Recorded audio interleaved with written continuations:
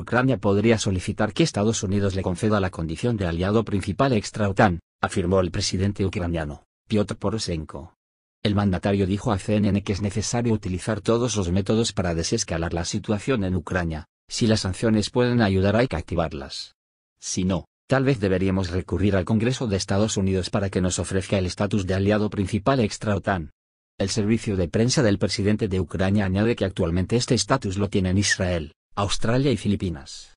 En relación con la situación en torno a Ucrania, la OTAN reforzó las misiones de patrulla aérea de los países bálticos. Aviones con equipo de radar realizan vuelos regulares a lo largo del territorio de Polonia y Rumania, y en el mar Báltico y el Mediterráneo navegan buques adicionales de la OTAN.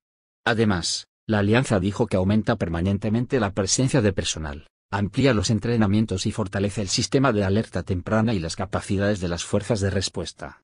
El Ministerio de Asuntos Exteriores ruso, por su parte, advirtió que no dejará sin respuesta la acumulación de fuerzas de la OTAN cerca de sus fronteras, ya que demuestra las intenciones hostiles de la alianza y viola el acta fundacional entre la OTAN y Rusia.